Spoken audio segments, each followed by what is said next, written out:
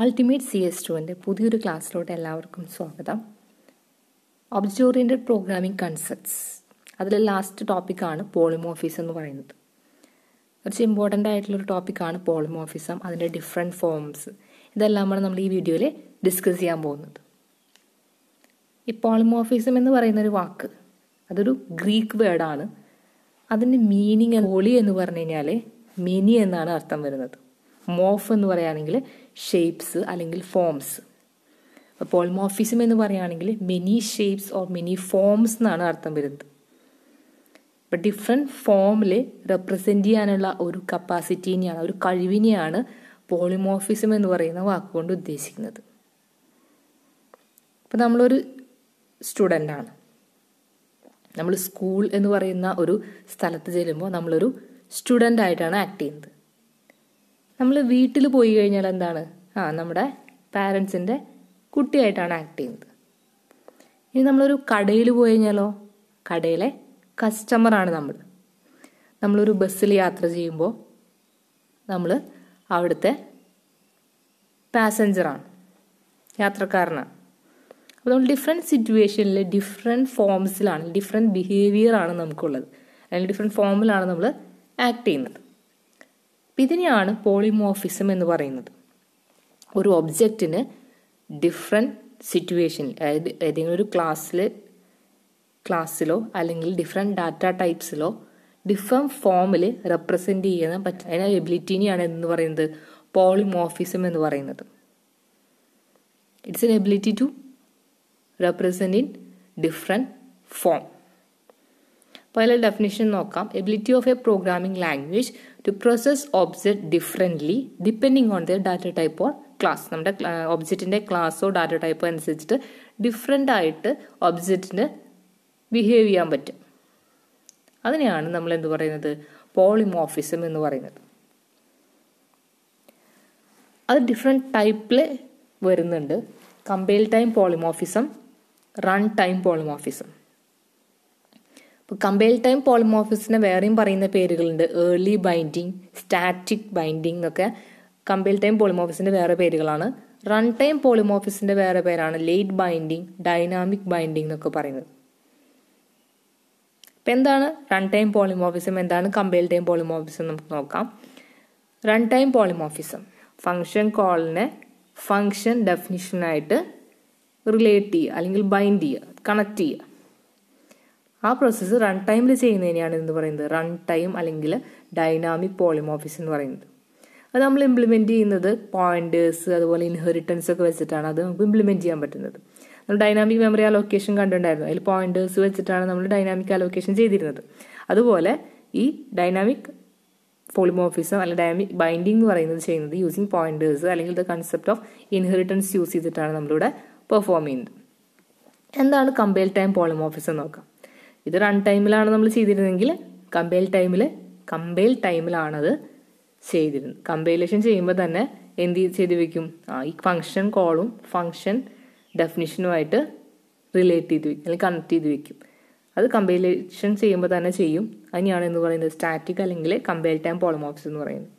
ഈ compile time പോളിമോഫ്സിനെ രണ്ട് ടൈപ്പിൽ ഡിവൈഡ് ചെയ്തിട്ടുണ്ട്. Function overloading and operator overloading function overloading എന്ന് പറയുകയാണെങ്കിൽ ഫങ്ഷൻ സെയിം നെയിം ഫങ്ഷൻസ് ഫങ്ഷന് തന്നെ ഡിഫറെന്റ് സ്റ്റൈലിൽ ഓപ്പറേറ്റ് ചെയ്യാനായിട്ട് പറ്റുക. ഒരു ഫങ്ഷൻ നെയിം വെച്ചിട്ട് നമുക്ക് പല കാര്യങ്ങൾ ചെയ്യാൻ പറ്റും. അതെങ്ങനെയാണെന്ന് നോക്കാം. Function with same name but different signatures function with same name but different signature different signature എന്ന് പറഞ്ഞാൽ എന്താ? നമ്മൾ ഫംഗ്ഷൻ കഴിഞ്ഞ് ഫംഗ്ഷന്റെ കൂടെ കൊടുക്കുന്ന കുറേ ആർഗ്യുമെന്റ്സ് ഉണ്ട് അല്ലേ data type argument name comma data type argument argument അങ്ങനെ നമ്മളൊരു ആർഗ്യുമെന്റ് ലിസ്റ്റ് പാസ് ചെയ്യുന്നുണ്ട്. അതിനെയാണ് എന്ത് പറയുന്നത്? സിഗ്നേച്ചർ എന്ന പദം കൊണ്ട് ഉദ്ദേശിക്കുന്നത്. ഓക്കെ ഫംഗ്ഷൻ ഓവർലോഡിംഗ് എന്ന് പറഞ്ഞാൽ ഇത്രയേ ഉള്ളൂ.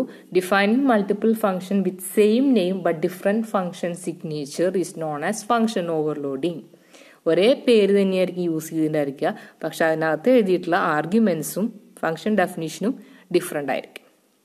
ഒരു എക്സാമ്പിൾ നമുക്ക് നോക്കാം. ഒരു ഫംഗ്ഷൻ ഇവിടെ ഒരു പ്രോഗ്രാം എഴുതിയിട്ടുണ്ട്. ഏരിയ എന്ന് പറയുന്ന ഒരു ഫംഗ്ഷനാണ് നമ്മൾ അതിനകത്ത് എഴുതി വെച്ചിരുന്നത്. രണ്ട് ഏരിയ എന്ന് പറഞ്ഞ പേരിലുള്ള ഫംഗ്ഷൻ എഴുതിയിട്ടുണ്ട്. ഇവിടെ ഇൻഡ് ഏരിയ ഇൻഡ് എസ് എന്ന് പറഞ്ഞിട്ടൊരു ഫംഗ്ഷൻ എഴുതിയിട്ടുണ്ട്. ഇവിടെ int area int S one comma int S two ഈ പറയുന്ന ഈ ഇൻഡസ് അതുപോലെ തന്നെ int S one comma int S two എന്ന് പറയുന്നതിനാണ് എന്ത് പറയുന്നത്? ഫംഗ്ഷൻ സിഗ്നേച്ചർ എന്ന് പറയുന്നത്. അപ്പം പേര് രണ്ടും സെയിം ആണ്. ഏരിയ എന്ന് തന്നെയാണ് പേര് കൊടുത്തിരിക്കുന്നത്. പക്ഷെ അതിന്റെ സിഗ്നേച്ചർ ഡിഫറെന്റ് ആണ്. ആർഗ്യുമെന്റ്സ് ഡിഫറെന്റ് ആണ്. ഓക്കെ അല്ലെങ്കിൽ ആർഗ്യുമെന്റ് എണ്ണത്തിലായിരിക്കും വ്യത്യാസം വരിക. അല്ലെങ്കിൽ അതിൽ കൊടുത്തിരിക്കുന്ന ഡാറ്റ ടൈപ്പിലായിരിക്കും വ്യത്യാസം ഉണ്ടായിരിക്കും അതെങ്ങനെ വേണമെങ്കിലും നമുക്ക് ചെയ്യാവുന്നതാണ്. ദെൻ ഇവിടെ നമുക്ക് എന്തിനാണ്? ഏരിയ ഓഫ് എ സ്ക്വയർ കാണാനുള്ള പ്രോഗ്രാമാണ് നമ്മൾ ഇവിടെ ഫംഗ്ഷനാണ് ഇവിടെ എഴുതി വെച്ചിരിക്കുന്നത്. സ്ക്വയറിന്റെ ഏരിയ കാണാനായിട്ട്. എസ് എന്ന് പറഞ്ഞ സൈഡ് തന്നു കഴിഞ്ഞാൽ സൈഡ് ഇന്റു സൈഡ് ദെൻ ഇവിടെ റെക്ടാങ്കിളിന്റെ ഏരിയ കാണാനാണ്. റെക്ടാങ്കിളിന്റെ എ ബി എന്നുള്ള രണ്ട് വാല്യൂ തന്നു കഴിഞ്ഞാൽ എ ഇന്റു ബി അതാണ് S one into S two ചെയ്തിരിക്കുന്നത്. ഇനി മെയിൻലി നമ്മൾ കോൾ ചെയ്യുകയാണ് area of square area of five എന്ന് കോൾ ചെയ്തിരിക്കുകയാണ്. അപ്പോൾ ഏരിയ ഓഫ് ഫൈവ് എന്ന് കണ്ടു കഴിഞ്ഞാൽ നമ്മൾ ഒരു ആർഗ്യുമെന്റേ പാസ് ചെയ്തിട്ടുള്ളൂ. ഒരു ആർഗ്യുമെന്റ് ഉള്ളൂ എന്നുണ്ടെങ്കിൽ അത് യൂസ് ചെയ്യുന്ന ഫംഗ്ഷൻ ഏതാണ്? ആദ്യം എഴുതിയിരിക്കുന്ന ഫംഗ്ഷനാണ് അത് എക്സിക്യൂട്ട് ആവുന്നത്. ഒറ്റൊരു ആർഗ്യുമെന്റ് ഇവിടെ എഴുതിയിട്ടുള്ളൂ. അപ്പോൾ ഈ ഇതിന് ഈക്വലന്റ് ആയിട്ടുള്ള ഫംഗ്ഷൻ ഏതാണെന്നുള്ളത് നോക്കും. അതാണ് നമ്മളവിടെ എക്സിക്യൂട്ട് ചെയ്യുന്നത്. അപ്പോൾ ഫൈവ് മാത്രമേ ഇതിനകത്തുള്ളൂ. അപ്പോൾ ഫൈവ് ഒറ്റൊരു ആർഗ്യുമെന്റ് പാസ് ചെയ്തിട്ടുള്ള ഏരിയ എന്നുള്ള ഈ ഒരു ഫംഗ്ഷനാണ് എക്സിക്യൂട്ട് ചെയ്യുന്നത്. അപ്പോൾ ഇവിടെ സ്ക്വയറിന്റെ ഏരിയ കണ്ടുപിടിച്ചു. അപ്പം അഞ്ച് ഇന്റു അഞ്ച് ഇരുപത്തഞ്ച് എന്ന് പറയുന്ന ഔട്ട്പുട്ട് വന്നു.